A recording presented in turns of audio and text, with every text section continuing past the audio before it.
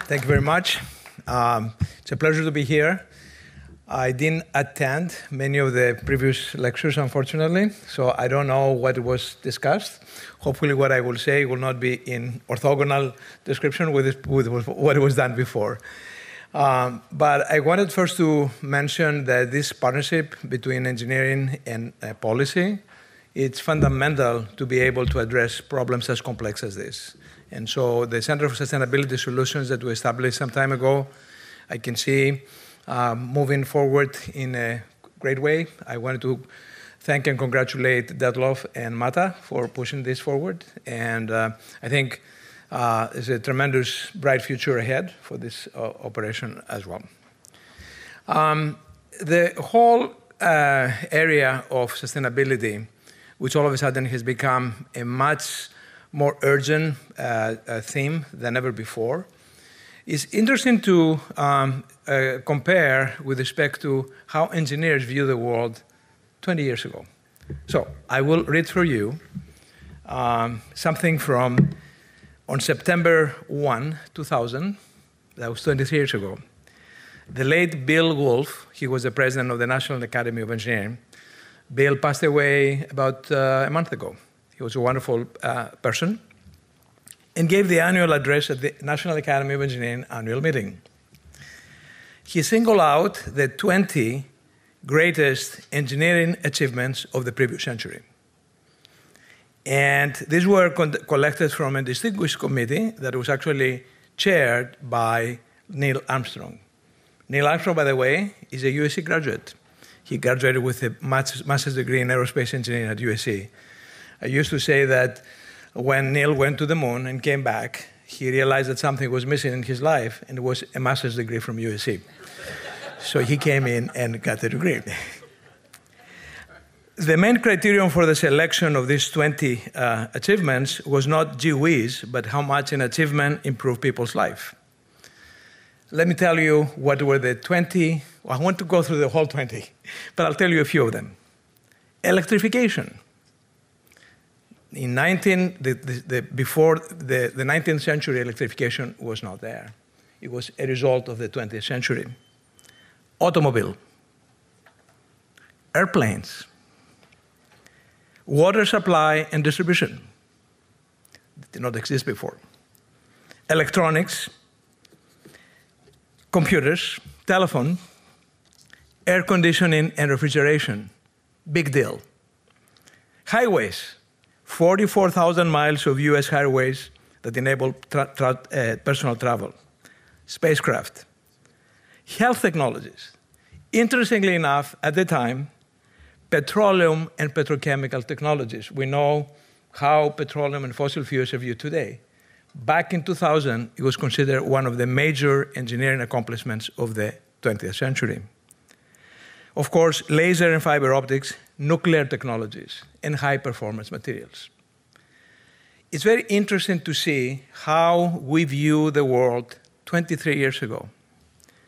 He nodded, uh, reviewing the list, it's clear that any, if any of its elements were removed, our world would be a very different place and a much less hospitable one. This was in 2000.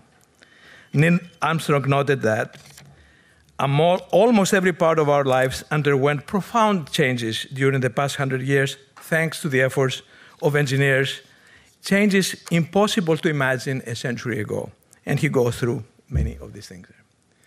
So then Bill was asked, or asked the rhetorical question, what would be the challenges for the 21st century?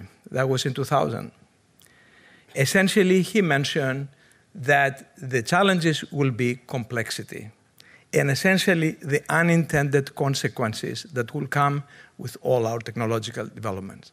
He had the foresight to anticipate what will be interesting things that are happening, will happen in the world. Fast forward to 2008.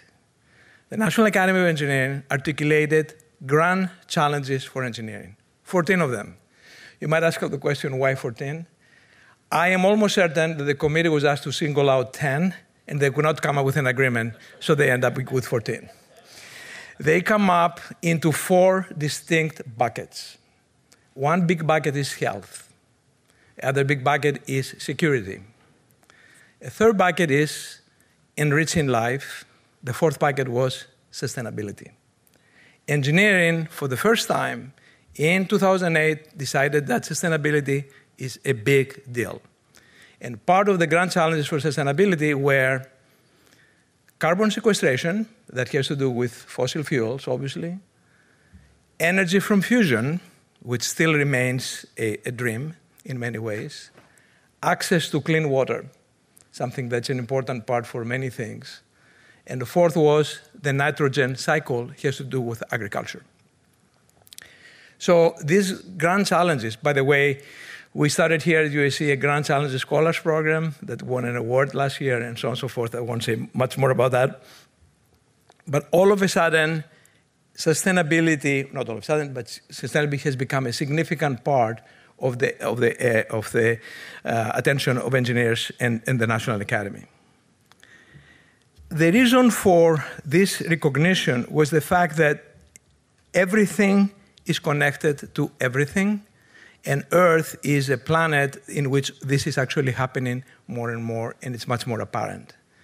I must say that Bill Wulf was here at this very room in 2005 articulating all these arguments. There was a national meeting of the Academy of Engineering right here. So the question is um, what, how can we uh, use technology to address these big challenges? What we have seen in our lives and in recent years, more, um, more particularly, is the tremendous exponential growth of technology innovation the exponential pace of technology innovation. If you uh, think about exponentials, you're mostly familiar with what's known as Moore's Law. Moore's Law, the doubling of this and that over so many months, is nothing else but an exponential. Those of you who are math mathematically inclined, you will, you will agree with me. I think actually we are more than an exponential. We're close to a place where it's like a hockey stick behavior. It's almost like a singularity. You know, people have talked about singularity, and we see this with AI. What I'm trying to say is that technology is moving very fast. Technology focused in the right areas will be a, the, one of the most important solutions for us for the sustainability problem. I think that's why this, this, the, the, the marriage, the partnership between engineering and policy is so important in order to provide sustainability solutions. And I know this for a fact because the, the emphasis of the National Academy of Engineering today is very much focused towards sustainability. Um, last uh, two, two weeks ago, there was the annual meeting of the National Academy. Sustainability was uh, uh, uh front and center of that particular conversation.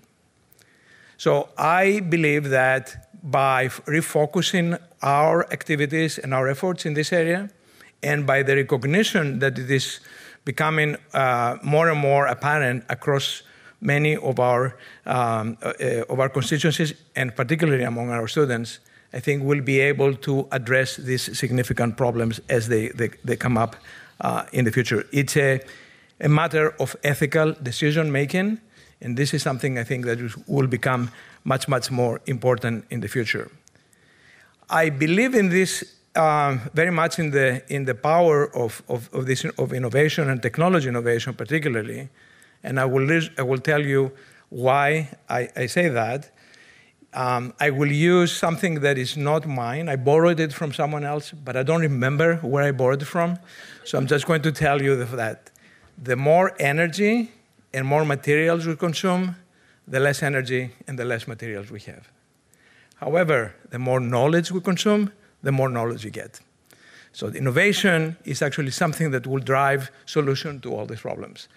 Um, very much believe in it in a very significant way. Um, and so I believe that there are tremendous opportunities for us to make significant advances.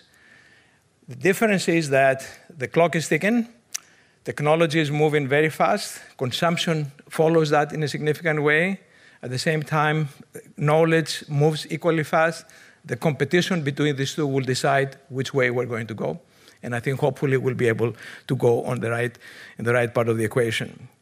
So scalable, reliable, equitable, and implementable uh, sustainability efforts will be very important as we move forward. USC is ideally positioned for this because of the strength in multiple areas, from engineering to policy to sciences to business, uh, all aspects of, of, uh, of, the, of the university that touch upon different parts of sustainability. So mentioned we have an energy transition center here at USC. Uh, we do a lot on sustainable computing. But the problems will become, I think, will require a lot more sophisticated way of thinking about it. Um, in many ways, um, uh, sustainability is um, uh, uh, related, if you like, to the generation of entropy. So I'm going to go a little bit enough physicist on you here. We want to make sure that this generation is minimized as much as possible, while at the same time we have a standard of living that actually is something that everybody uh, would like to continue. I'll close by um, quoting Neil Armstrong and think about the following quote, but just move ahead a few uh, hundred years forward. Almost everybody, th- think, think about it, think of a think of, a, of, a, of a, the equivalent Neil Armstrong maybe 2015. Reviewing and ask the question, what was the 20 biggest achievements of engineering, let's say, in the last 50 years? Okay, I'm, I'm making here a, uh, a, a, a projection. Reviewing this list, it's clear that if any of its elements were removed, our world would be a very different place. Think about it 50 years ago, but with good progress of technology and a much less hospitable one. Hospitable. Almost every part of our lives underwent profound changes during the past 50 years, thanks to the efforts of engineers, okay, and uh, uh, pol- uh, uh, uh policy people. changes impossible to imagine a few years ago. People living in the early 2000s would be amazed at the advancement that were brought by us. And someone who has experienced firsthand that, that's uh, what uh, uh, Neil Armstrong said, one of engineers' most incredible advancements, I have no doubt that the next hundred years will be even more amazing. So I'll close to that with a positive, um, hopeful view of the things that we, we can accomplish. Just a matter of putting our efforts there, uh, working in, uh, in tandem in the, in the same direction and utilizing all the talent and the advances of technology actually that can help us do significant, significant progress in this area. So thank you very much.